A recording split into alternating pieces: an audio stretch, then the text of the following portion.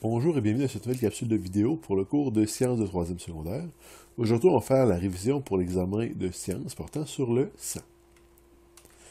Avant d'aller dans le vif du sujet, je vais juste vous rappeler c'est quoi la matière à l'examen.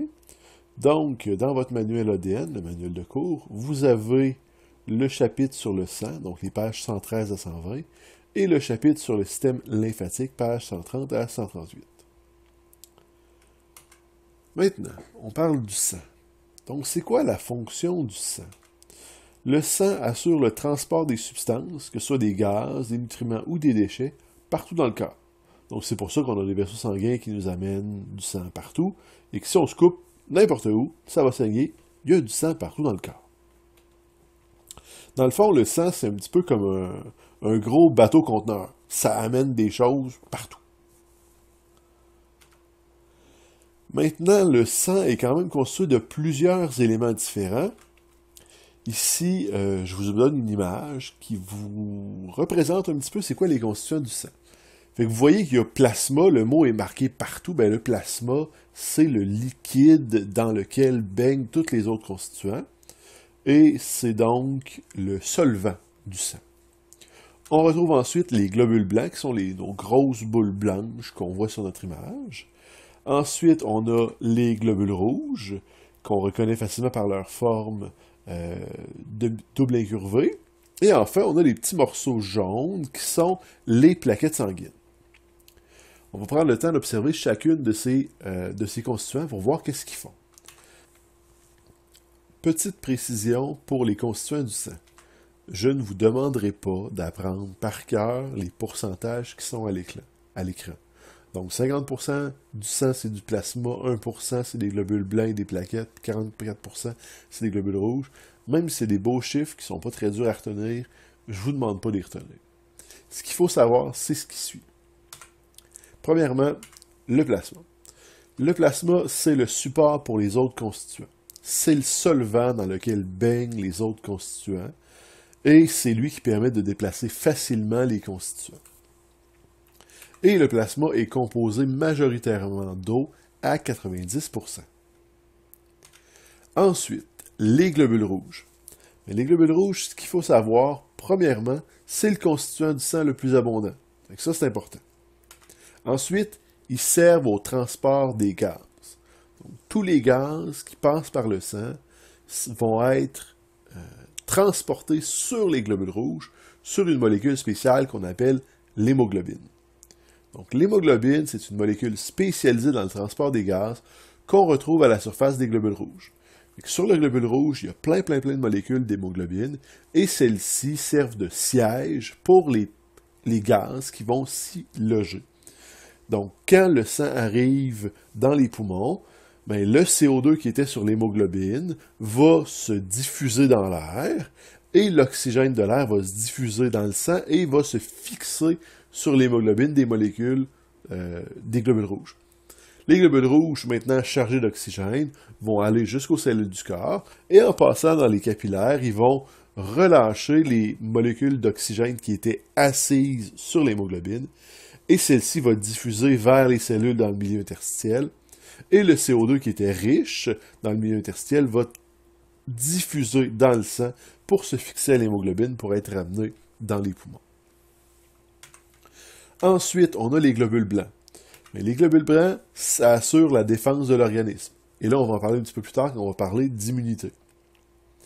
Les globules blancs, par contre, possèdent un noyau. C'est le seul constituant du sang qui possède un noyau. Donc, c'est un petit détail qui est important. Donc ici, je vous ai pris une image. C'est pas une photographie, c'est une image qui a été assemblée par un, infographiste, mais on peut quand même voir en mauve le noyau à l'intérieur de mon globule blanc. Enfin, on a les plaquettes sanguines. Les plaquettes sanguines sont responsables de la coagulation. Donc, quand on se fait un, quand on va se blesser, qu'on va se faire une coupure et qu'on va saigner, mais ce qui va faire la coagulation, ce qui va faire une gale qui va empêcher le sang de, s'écouler à perpétuité, ben c'est la coagulation, c'est les plaquettes sanguines qui vont faire ça. Petit détail important, les plaquettes sanguines ne sont pas des cellules, c'est des morceaux de cellules. Donc si les cellules primitives qui vont faire les plaquettes sanguines vont se fracturer en plein petits morceaux, et c'est les plaquettes sanguines. Dans l'image que vous avez ici, on a quatre étapes, mais ce qui est important de voir, c'est que dans la première étape, il y a une plaie par laquelle le sang va s'échapper. On voit dans l'étape 2 que euh, les plaquettes sanguines, les espèces de petits morceaux verts, commencent à remplir la plaie. Et à 3 et 4, ils ont complètement rempli la plaie. Ça fait une croûte. Et c'est ce qui va boucher la plaie et qui va permettre la guérison, la cicatrisation. Maintenant, parlons des groupes sanguins. C'est peut-être la matière la plus difficile pour plusieurs, donc on va prendre le temps de bien l'expliquer, et le but c'est de comprendre comment fonctionnent les transfusions sanguines. La chose la plus importante à comprendre, c'est les agglutinogènes. Les agglutinogènes sont des protéines qu'on retrouve sur les globules rouges pour les identifier. Il y a trois agglutinogènes différents, pas plus, pas moins. C'est A, B et RH. Donc ici, ces trois agglutinogènes, c'est des petites étiquettes, des pancartes qu'on retrouve sur les globules rouges qui permettent de dire à qui ça appartient ces globules rouges-là. Donc si j'ai l'agglutinogène A, ben, je vais faire partie du groupe sanguin A. Si j'ai l'agglutinogène B, je vais faire partie du groupe sanguin B. Si j'ai A et B, ben, je vais faire partie du groupe sanguin AB. Et si j'ai ni A ni B, je fais partie du groupe sanguin O. Le RH, qui est le facteur Rhésus, me dit si je suis plus ou si je suis moins. Donc, si j'ai RH sur mes globules rouges, hein, si j'ai l'étiquette RH sur mon globule rouge, je suis plus, et si je n'ai pas l'étiquette RH sur mes globules rouges, je suis moins. Par contre, les agglutinogènes, qui permettent d'identifier tes globules rouges, sont accompagnés d'une contre-molécule. C'est ce qu'on appelle l'agglutinine. L'agglutinine sont des anticorps spécifiques qui cherchent les globules rouges étrangers. Donc, les agglutinines, c'est quoi? Ben, c'est des petits détectives qui vont aller inspecter les euh, globules rouges pour vérifier s'ils ont l'agglutinogène qu'ils recherchent. Donc, tu as trois types d'agglutinines, anti-A, anti-B et anti-RH. Donc, anti-A va juste chercher les agglutinogènes A, anti-B va juste chercher les agglutinogènes B, puis anti-RH va juste chercher les agglutinogènes RH.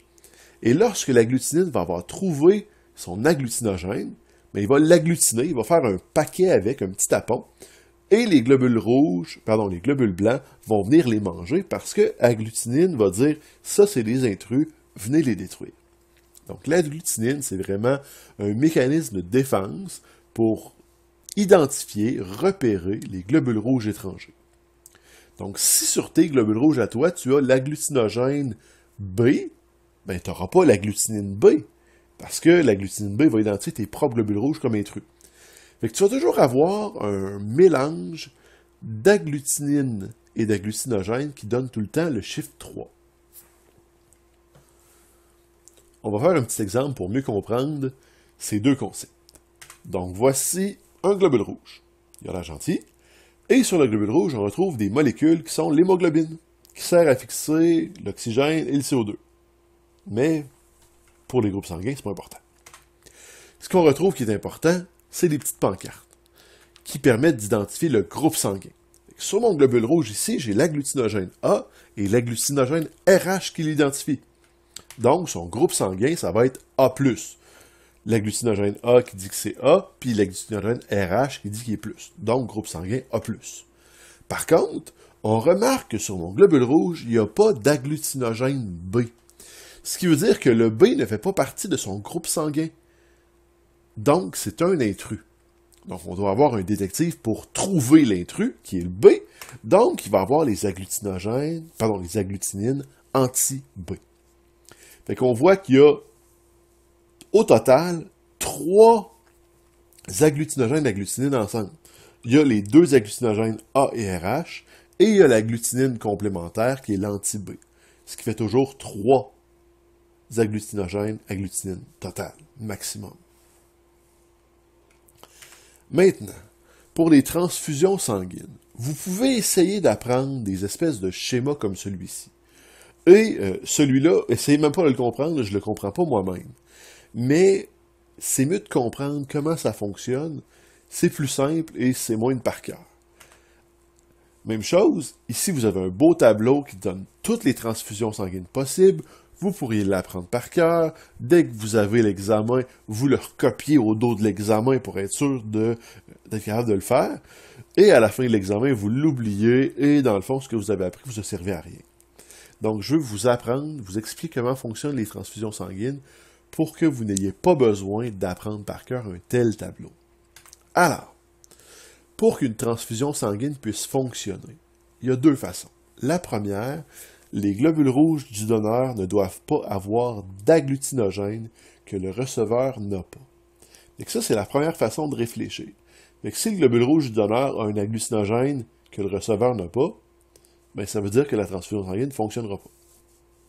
Et l'autre façon de faire, l'autre explication, c'est les agglutinogènes des globules rouges du donneur ne doivent pas être compatibles avec les agglutinines du receveur si le globule rouge du donneur a l'agglutinogène B, mais que le receveur a l'agglutinine anti-B, ils vont être compatibles et il va avoir un rejet, tout simplement. Faisons un exemple pour mieux comprendre. Voici un globule rouge. Et sur ce globule rouge-là, on retrouve l'agglutinogène B et l'agglutinogène RH, nos deux étiquettes qui identifient le globule rouge. Donc ici, j'ai B, j'ai RH, donc j'ai plus mon groupe sanguin est B+. L'agglutinogène qui manque sur mon globule rouge, c'est l'agglutinogène A. Donc, A est un étranger. Alors, l'agglutinine anti-A va être présente dans mon sang pour identifier les agglutinines, les agglutinogènes A qui sont des méchants. Maintenant, si je veux faire une transfusion sanguine, le globule rouge qui est là, c'est mon receveur. Mon receveur est de groupe sanguin B+. Si mon donneur est AB-, donc, si mon donneur est AB-, est-ce que je peux faire cette transfusion sanguine? Donc, on se rappelle, si mon donneur a un agglutinogène que le receveur n'a pas, ça ne marche pas. Mais je vois rapidement que mon donneur a A et mon globule rouge n'a pas l'agglutinogène A. Donc, à ce moment-là, il va avoir rejet. La deuxième méthode, on disait si mon donneur a un agglutinogène compatible avec les agglutinines du receveur. Ben, l'agglutinine du receveur, c'est anti-A. Est-ce que mon donneur a A? Oui! Donc, encore une fois, c'est un rejet. Donc, si la transfusion sanguine ne peut pas fonctionner, les agglutinines anti-A du receveur vont agglutiner les globules rouges du donneur, ça va faire l'agglutination, ça va faire un caillot de sang, et ça risque de bloquer euh, un vaisseau sanguin au cerveau, dans le cœur, et ça peut éventuellement créer la mort. Donc, c'est très, très dangereux. Fait qu'on veut pas ça. Donc, ici, il faut toujours prendre le temps de vérifier euh, soit est-ce que le donneur a un agglutinogène que le receveur n'a pas, ou si le donneur a un, agglutinogène qui est compatible avec les agglutinines du receveur. Et en réfléchissant comme ça, on peut dire si la transfusion peut se faire. Maintenant, on a terminé la révision sur le sang. Tout ce qu'il vous reste à faire, c'est de comprendre tout ce qu'on vient de parler, faire les exercices de révision et euh, arriver reposé, prêt pour faire l'examen. Et ça devrait bien aller. Merci.